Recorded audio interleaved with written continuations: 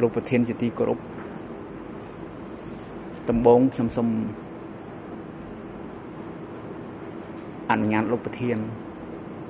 ថ្លែងសេចក្តីគោរពយ៉ាងជ្រាលជ្រៅបំផុត ចំពោះលោកទំទាវមាកេតដែលលោកចាស់ហើយលោកបានអញ្ជើញមកនៅទីនេះវាជាកិត្តិយសមួយ សម្រាប់ខ្ញុំ លោកកំទាមាសគេចាស់ជាងម្ដាយខ្ញុំ3ឆ្នាំលោកអញ្ជើញមកខ្ញុំសូមអរគុណហើយសូមថ្វាយគុំលោកចម្ងាយនេះជារឿងមួយឯចំណែករឿងជូឡុងរាំងស៊ីរាំងស៊ីជូឡុងខ្ញុំដឹងតាំងពីខ្ញុំនៅធ្វើជាអនុប្រធាននេះ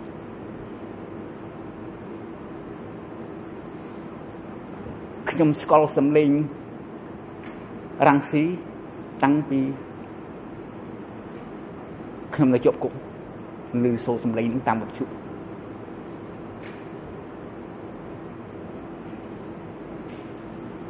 ដូច្នេះជាមួយងាំងស៊ីចូលមកដល់សំ21ខ្ញុំអត់បានទៅអើតមើលមុខគាត់យ៉ាងម៉េចទេខ្ញុំឃើញដែលខ្ញុំឡើងធ្វើប្រធានហើយឯកសារគេចប់អស់ហើយ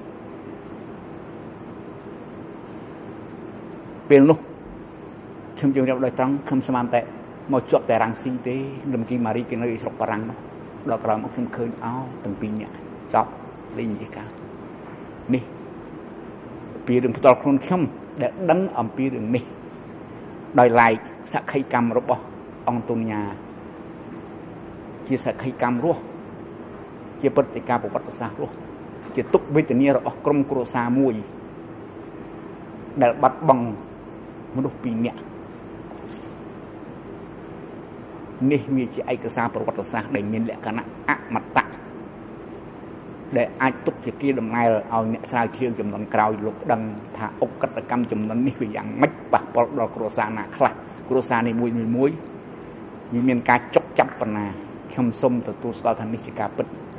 ដោយឡែកចំពោះរូបខ្ញុំខ្ញុំនៅតែរក្សាពាក្យដដែលអត់គិតពីស្មារតីទទួលខុសត្រូវចំពោះមុខអកតកម្មនេះទេសូម ជម្រាបលោកកំទាវដោយស្មោះសូមជម្រាបអ្នកស្រីដោយស្មោះសូមគោរពសូមចប់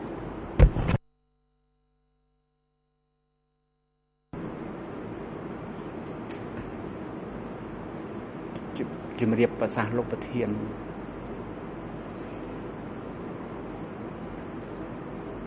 ការទទួលខុសត្រូវខាងផ្លូវចិត្តដែលយើងខ្ញុំ ធ្វើទៅបានយ៉ាងម៉េចធ្វើទាំងអស់ទី1គឺមិនក្បត់នឹងវិញ្ញាណក្ខន្ធអ្នកដែលស្លាប់ទេអ្នកណាដែលស្លាប់ទៅនៅស21ទទួលទាំងអស់ថាគេពិតជាស្លាប់នៅទីមេតគេស្លាប់ដោយទរណកម្មមុននឹងទៅស្លាប់ក៏យើងខ្ញុំទទួលហើយទទួលរាយការណ៍ជូនជាតិប្រជាជនកម្ពុជាទាំងអស់ថារឿងនេះវាសាហាវ គឺទទួលបែបនេះហើយថ្មីថ្មីនេះអង្គសវនាការឃើញហើយ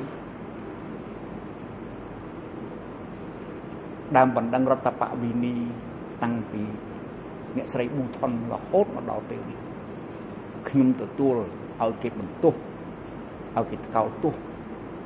ហើយទទួលស្គាល់នៅទុកវេទនារបស់គេទុកជាព្រឹត្តិការណ៍ប្រវត្តិសាស្ត្រទាំងអស់នេះហើយដែលយើងខ្ញុំយល់ថា ជាការទទួលខុសត្រូវខាងផ្លូវចិត្តដែលត្រូវតែធ្វើជាដំបូងនេះខ្ញុំសូមបញ្ជាក់ជូនប៉ុណ្ណេះសូមគោរពលោកប្រធាន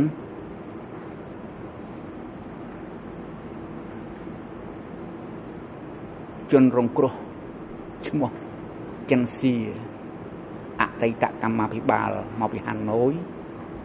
ហើយជាអតីតកម្មាភិបាល ដែលជួយការងារនៅសាលាក92ក្រោយមកមកជាប់នៅបឹងតបែកហើយត្រូវគេចាប់បញ្ជូនមកស21យើងខំទទួលស្គាល់ឯកសារស21នៅទីនេះជាផ្ោះតាំងស្រាប់យើងខ្ញុំអត់ប្រកែកទេកុនតែសូមបញ្ជាក់បន្តិចថា ប្រវត្តិសាលាកៅក92នេះខ្ញុំដឹងជាសាលាដែលលោកគ្រូសុំសេនមេខ្ញុំគាត់ ធ្វើកាលគាត់នៅជាសហប្រធានភូមិភាគរត់ដដូច្នេះព្រឹត្តិការណ៍ប្រវត្តិសាស្ត្រដែលខ្ញុំសូមបញ្ជាក់បន្ថែមប៉ុណ្ណឹងដើម្បីបញ្ជាក់ថាវិញ្ញាណក្ខន្ធលោកកេនស៊ីហៅហានពិតជាទៅស្លាប់នៅមន្ទីរស21មែននេះគឺបញ្ជាក់ហើយទទួលស្គាល់និងទទួលខុសត្រូវចំពោះមុខច្បាប់និង ខាងផ្លូវចិត្តក្នុងមរណភាពរបស់លោកកេនស៊ីលោកប្រធានជាទីគោរពដំបូងខ្ញុំសូមបញ្ជាក់ម្ដងទៀតថាខ្ញុំសូមទទួលស្គាល់ថា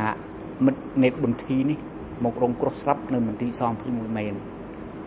ចូលមកដល់មន្ទីរស21ថ្ងៃ24ខែធ្នូ1978នេះពិត ហើយរឿងរ៉ាវជាប្រវត្តិសាស្ត្ររវាងបកកុម្មុយនីសកម្ពុជានិងកងទ័ពបូព៌ាខ្ញុំបានបញ្ជាក់ជូនអង្គសវនាការមិនបានមិញហើយខ្ញុំអត់និយាយតទៅទៀតទេ